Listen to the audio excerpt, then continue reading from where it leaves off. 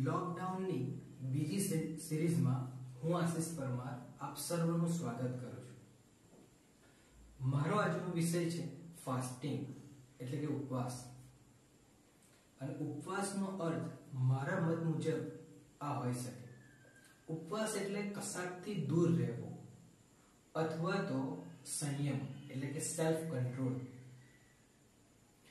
આજે આપણે ઉપવાસના ત્રણ અલગ અલગ વ્યૂ જોવા માંગીએ છીએ.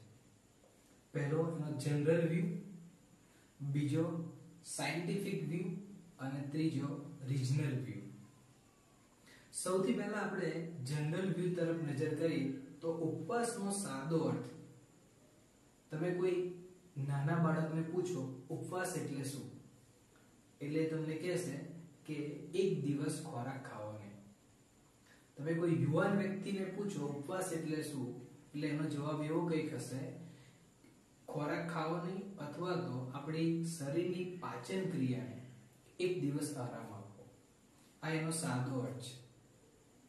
અને આ બંને અર્થ મારી વિચારસરણી સાથે મેચ થાય છે કે આપણે ઉપવાસ એટલે ખોરાકથી દૂર રહેવો. આ એનો સિમ્પલ અને સાદો અર્થ છે.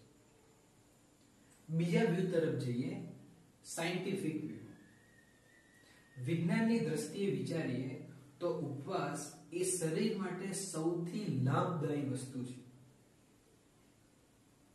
WHO એટલે કે વર્લ્ડ હેલ્થ ઓર્ગેનાઇઝેશનના સર્વે મુજબ જેટલા બી વ્યક્તિઓ પૃથ્વી પરથી મરી જાય છે એમના રોગ પાછળનું કારણ એક યા બીજી રીતે ખોરાક હોય છે અને એટલા જ માટે જો આપણે ઉપવાસ કરીએ તો એના દ્વારા આપણું શરીર એ સ્વસ્થ અને નિરોગી બને છે. જો વધારે વિજ્ઞાનની દ્રષ્ટિએ વિચારીએ, તો ઉપવાસ દરમિયાન વ્યક્તિના શરીરમાંથી જે ખરાબ થઈ ગયેલા સેલ અથવા તો નબળા સેલ હોય છે, એ શરીર એને કાઢી નાખે છે. અને એની જગ્યાએ નવા અને હેલ્ધી સેલ ઉત્પન્ન કરે છે. અને પરિણામ સ્વરૂપે વ્યક્તિની રોગ પ્રતિકારક શક્તિમાં વધારો થાય છે. અત્યારે તમે અને હું કોવિડ નાઇન્ટીન ના સમયમાં જીવી રહ્યા છે. અને અત્યારે કોઈક વ્યક્તિ માટે સૌથી અગત્યની વસ્તુ તો એ રોગ પ્રતિકારક શક્તિ અને વિજ્ઞાન એવું જણાવે છે કે ઉપવાસ દ્વારા આપણે આપણા શરીરની રોગ પ્રતિકારક શક્તિમાં વધારો કરી શકીએ. એક બે દિવસ જ્યારે ઉપવાસની શરૂઆત કરીએ ત્યારે ઘણું અઘરું પડે. ભૂખ લાગે, માથું દુખે. પણ જો તમે રૂટીનમાં આ પ્રક્રિયાને આવરી લો છો, દરેક અઠવાડિયે એક ઉપવાસ, દરેક મહિનામાં ત્રણેક ઉપવાસ, તો તમારું શરીર એ સ્વસ્થ અને નિરોગી બને. ત્રીજા વ્યૂ તરફ જઈએ આપણે. રિજનલ વ્યૂ ધાર્મિક.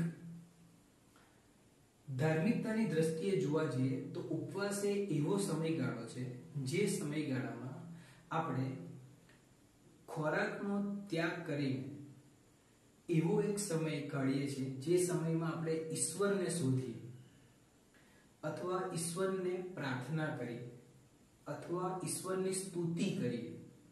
અથવા ઈશ્વરનો આભાર માનીએ એટલે કે જગતના વાનાઓથી, જગતની બધી વસ્તુઓથી દૂર જઈ અને આપણે ઈશ્વર તરફ જવા માંગીએ છીએ. ખરાબ બાબતોને ખરાબ બાબતોથી દૂર જઈ અને સારી બાબતો તરફ જવા માંગીએ છીએ. જો ધાર્મિકતાની ભાષામાં બોલું, તો આપણે પાપી સ્વભાવમાંથી પવિત્ર તરફ જવા માંગીએ છીએ પણ શું આ શક્ય છે? મારું એવું ઓબ્ઝર્વેશન છે કે માણસ પોતાની અંદર અને એની આસપાસ બધી જ જગ્યાએથી ખરાબ બાબતોથી અથવા ખરાબ વૃત્તિઓથી ઘેરાયેલો છે. કેટલાક ઉદાહરણ જોઈએ. સૌથી પહેલા માણસ પોતાની અંદર કઈ કઈ ખરાબ બાબતો રાખે છે? તમે તમારા ગઈકાલનો વિચાર કરો. ગઈકાલ સવારથી સુધી, સવારથી સાંજ સુધી. તમે કેટલોક સમય પોતાના મિત્રો સાથે અથવા તો કેટલોક સમય પોતાના કુટુંબના વ્યક્તિઓ સાથે ગાળ્યો હશે. સવારથી સાંજ સુધીમાં એક બાબત તો એવી હશે જે તમે ત્રીજા વ્યક્તિ વિશે ખોટી અથવા તો ખરાબ બોલ્યા હશો. એટલે સાદી ભાષામાં કહે તો નિંદા, જે વ્યક્તિની અંદર ખરાબ બાબત સવારથી સાંજ સુધી કોઈ વ્યક્તિ અથવા વસ્તુ માટે તમે ખરાબ વિચાર કર્યો હશે. અને હું પોતે એક શિક્ષક છું, એટલે જ્યારે બી સુપરવિઝન હોય છે, ત્યારે ક્લાસના લગભગ પચાસ ટકા વિદ્યાર્થીઓની વૃત્તિ એવી હોય છે કે એક કે બે માર્કની ચોરી કરી અને આ બધી જ બાબતો દર્શાવે છે કે માણસની અંદર ખરાબ કરવાની વૃત્તિ રહેલી છે. એનો પાપી સ્વભાવ રહેલો છે. માણસની આજુબાજુનો જો વિચાર કરીએ, બહારની તરફ, તો તમે તમારી સોસાયટીમાં અથવા સમાજમાં ખોટા સંબંધોના પ્રશ્નો જોયેલા હશે. વ્યસન, એટલે કે દારૂ, તમાકુ, બીડી, સિગરેટ ખરાબ બાબત. અને અત્યારના સમયમાં જો આ યુવા પેઢી ને સૌથી ખરાબ રસ્તે જો કોઈ વસ્તુ લઈ જઈ રહી હોય, બહારની કોઈ વસ્તુ, તો એ છે મોબાઈલ. એક ક્લિક દ્વારા આપણે ઘણી બધી ખરાબ વસ્તુઓ તરફ જઈ શકીએ છીએ. અત્યારે તો કેટલીક ગેમ્સ અને એપ્લિકેશન બી એવી છે જેમાં એડ તરીકે કેટલાક ખરાબ ચિત્રો આપણને બતાવવામાં આવે છે. મારો કહેવાનો મતલબ એ છે કે માણસ અંદર અને બહાર બધેથી ખરાબ બાબતોથી ઘેરાયેલો છે. અને ઉપવાસ એક એવી વસ્તુ છે જેમાં આપણે એ બધી બાબતોથી દૂર જઈ અને સારી બાબતો, પવિત્ર બાબતો તરફ જવા માંગીએ છીએ. પણ અહીં એક પ્રશ્ન તમારી સામે સમક્ષ મૂકવા માંગુ છું. શું ઉપવાસ ખાલી એક એક જ એવી વસ્તુ છે જેના દ્વારા આપણે પાપી સ્વભાવમાંથી દૂર થઈ પવિત્રતા તરફ જઈએ? શું એક જ એવી બાબત છે? એક ઉદાહરણ દ્વારા આપણે સમજવા પ્રયત્ન કરીએ. એક વ્યક્તિ એક સમુદ્રની અંદર એક હોડી અને એક હલેસા સાથે ખોવાઈ જાય છે. એની જોડે બીજું કશું જ નથી. પહેલી વખત એ સમુદ્રની અંદર હોડી અને એલએસએસ સાથે ખોવાઈ જાય છે. શું એના બચવાના અથવા તો દરિયા કિનારે પહોંચવાના ચાન્સીસ અથવા શક્યતાઓ ખરી? નવ્વાણું પોઈન્ટ નવ્વાણું ટકા નહીવત એટલે કે અશક્ય બાબત છે. કારણ કે સમુદ્રની અંદર કઈ દિશામાં જવું એ એને ખબર નથી. સમુદ્રના વાતાવરણ સાથે એનો કોઈ પરિચય નથી. એની જોડે ખોરાક, પાણી એવી કોઈ વસ્તુઓ નથી. એટલે બચવાના ચાન્સીસ લગભગ નહીવત વિચારી શકાય. એની જોડે એક જ વસ્તુ છે અને એ છે હલેસો. શું એ ખાલી હલેસા દ્વારા દરિયા કિનારે પહોંચી શકશે? શું કોઈ વ્યક્તિ ખાલી ઉપવાસ દ્વારા ઈશ્વરને શોધી શકે? લોકડાઉનની પહેલી સિરીઝમાં તમે જાણ્યું હશે કે તમને અને મને બનાવનાર ઈશ્વર એ બહુ જ કરુણાળુ અને દયાળુ ઈશ્વર છે. ઈશ્વરે આદમ અને હવાને ઉત્પન્ન કર્યા. અને એદનવાડીમાં એમને એક વૃક્ષનું ફળ ખાવાની ના પાડી. પણ આદમ અને હવાએ એ વૃક્ષનું ફળ ખાધું. અને ઈશ્વરની આજ્ઞાનું ઉલ્લંઘન કરીને ત્યાં માણસમાં પાપનો પ્રવેશ થાય છે. અને ઈશ્વર અને માણસ વચ્ચે જે સંબંધ હતો, એ સંબંધ ત્યાં તૂટી જાય છે. પણ તમને અને મને બનાવનાર જે ઈશ્વર છે, એટલો દયાળુ અને કૃપાળુ ઈશ્વર છે કે એમણે જે માણસને બનાવ્યું, એને પોતાનાથી દૂર ગતો રહ્યો, એ એમનાથી સહન ના થયું. અને એમણે એક યોજના બનાવી અને એ યોજનામાં માણસને પોતાની તરફ લાવવા પ્રયત્ન કરે છે.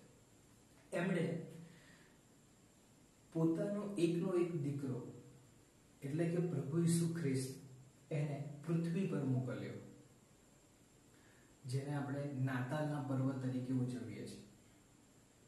અને પ્રભુ ઈસુ ખ્રિસ્તે સઘળા માનવજાતને પાપમાંથી મુક્ત કરવા માટે પોતાનું પવિત્ર લોહી વેવડાવી અને બલિદાન આપ્યું. જેથી માણસ જે પાપી છે, એ પાપમાંથી મુક્ત થાય. એટલું જ નહીં, એ ત્રીજે દિવસે સજીવન બી થાય. એટલે એમણે મરણને બી હરાવ્યું અને પાપને બી હરાવ્યું. અને આ બંને વસ્તુઓ આપણે ગુડ ફ્રાઈડે અને ઈસ્ટર તરીકે ઉજવીએ છીએ. અને જો કોઈ વ્યક્તિ ઈશ્વરની આ યોજનાનો વિશ્વાસ કરે, તો એ એ વિશ્વાસ દ્વારા એ વ્યક્તિ ઈશ્વર સાથે અનંત જીવન જીવી શકે છે. આ આખી ઈશ્વરની યોજના. આપણે મૂળ પ્રશ્ન તરફ પાછા છીએ કે શું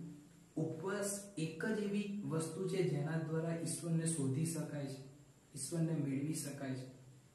શું હલે શું એક જ એવી વસ્તુ છે જેના દ્વારા કિનારે પહોંચી શકાય છે? તો જવાબ છે ના. જો એ હોડીમાં બીજી એક એવી વ્યક્તિ હોત જે આખા સમુદ્રને જાણતો હોય, જે સમુદ્રના દરેક માર્ગો અને દિશાઓ જાણતો હોય, જેની પાસે ખોરાક અને પાણી હોત. તો એ વ્યક્તિ, પેલી વ્યક્તિને દરિયા કિનારા સુધી પહોંચાડી શકે. અને એવી જ રીતે જો તમારે ઈશ્વર પાસે જવું છે, પવિત્રતા તરફ જવું છે, તો તમારે ઈશ્વરની આ યોજના પર વિશ્વાસ કરવો પડશે. ખાલી વિશ્વાસ દ્વારા તમે ઈશ્વરની પાસે જઈ શકશો. અથવા ઈશ્વર સાથે અનંત જીવન વિતાવી શકશો. ચોક્કસ ઉપવાસ એક એવી વસ્તુ છે જેના દ્વારા આપણે ઈશ્વરને માટે અમુક સમય ગાળી શકીએ છીએ. પણ એનાથી બી સૌથી અગત્યની વસ્તુ એ છે વિશ્વાસ. આશા રાખું છું આ શબ્દો અને આ યોજના વિશે તમે જાણ્યું. એના વિશે થોડું વધારે વિચારવા અને એના વિશે વધારે શોધવા તમે પ્રયત્ન કરશો અને આ વીડિયો જોવા બદલ તમારો સર્વનો આભાર. Thank you